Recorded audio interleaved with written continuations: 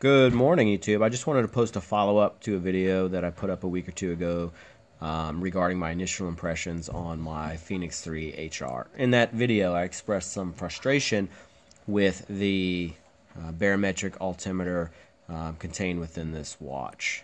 I'm currently at about 36 feet.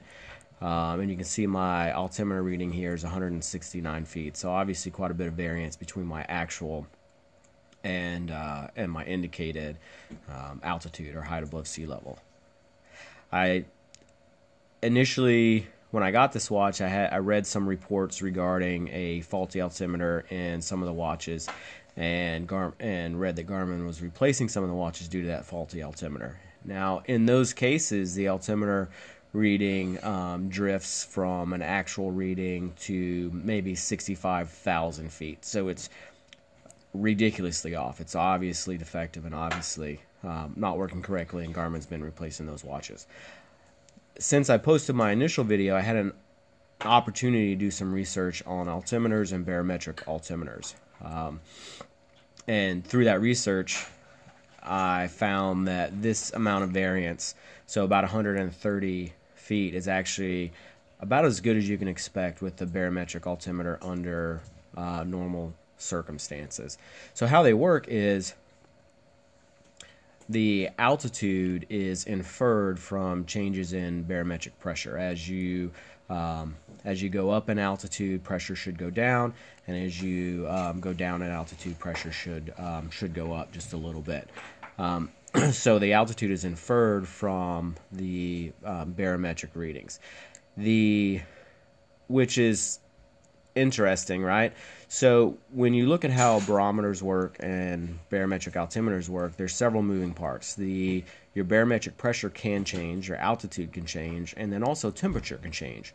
So a change in temperature throughout the day can cause a change in the barometric pressure reading, which can cause a change in the measured or inferred um, altitude or height, or height above or below sea level. An actual change in altitude can cause a change in measured altitude, and then a change in barometric pressure, whether the weather's changing or the temperature's changing, can um, can cause this change.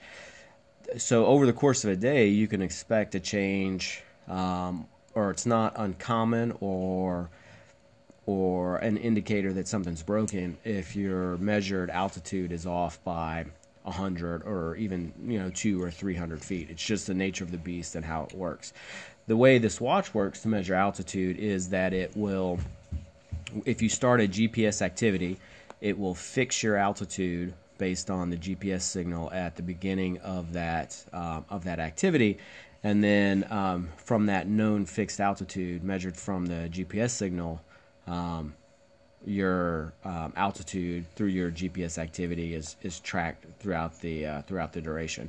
So that's really what you need. You need a known altitude. You need to start from a known altitude, or you need a known barometric pressure um, to infer the altitude from.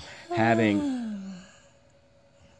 that's my son yawning. He's bored with uh, with me making the video. He did want me to, to tell you that he has his own watch, uh, which is a which is a Samsung Gear Fit. He loves it, and he'll be posting videos on that shortly.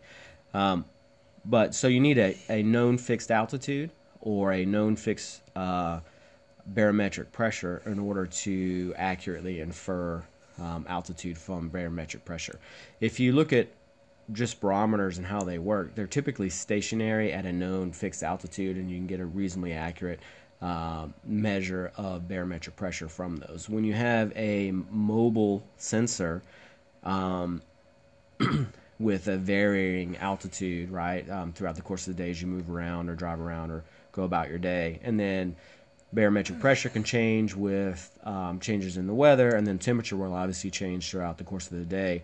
It's actually expected operation for your altimeter to be off by a couple hundred feet uh, over the course of a day so that's just really what I wanted to to put up there. That you know my initial frustration with the altimeter and my reading being off by in this case 100 and you know 130 feet.